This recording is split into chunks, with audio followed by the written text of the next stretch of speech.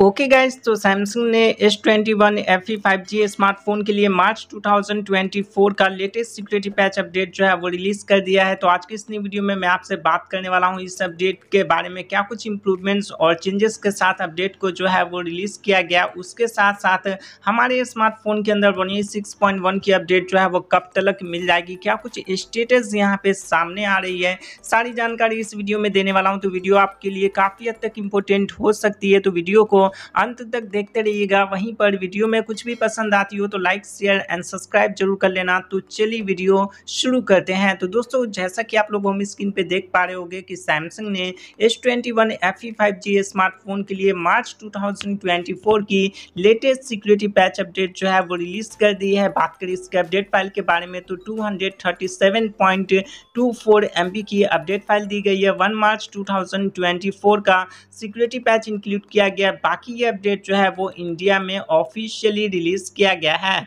बात करें इस अपडेट के चेंजेस के बारे में तो अप्रोक्सीमेटली यहाँ पे ढाई सौ की अपडेट फ़ाइल देखने के लिए मिलती है।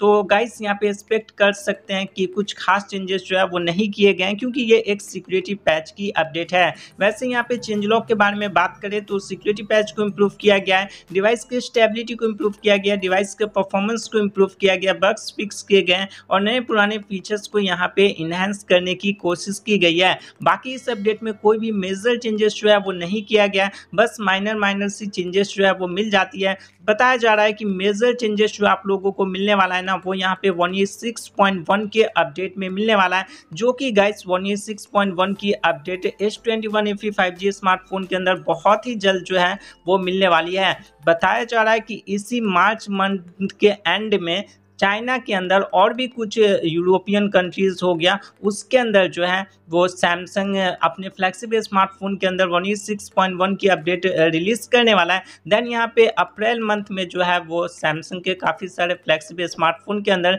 इंडिया में भी अपडेट मिल जाएगी। तो उसी बेसिस पे हम कह सकते हैं कि S twenty one F E five G smartphone जो है, वो एक इंट्री लेवल का फ्लैक्सीबल स्मार्टफ़ोन है। तो उसमें अपडेट जो है, वो यहाँ पे अप्रैल मंथ के एंड में देखने के लिए मिल सकती है। अब देखते हैं यहाँ पे सैमसंग वाले क्या करते हैं और कुछ भी इन्फॉर्मेशन आती तो ऑफकोर्स मैं आप लोगों को इन्फॉर्म कर दूँगा। उसके लिए आप लोग चैनल सब्सक्राइब करके बेल नोटिफिकेशन प्रेस करके ज़रूर रख लीजिएगा। तो आज की इस नई वीडियो में बस इतना ही। मिलते हैं एक नई वीडियो में। तब तक के लिए जय हिंद बंदे मातरम।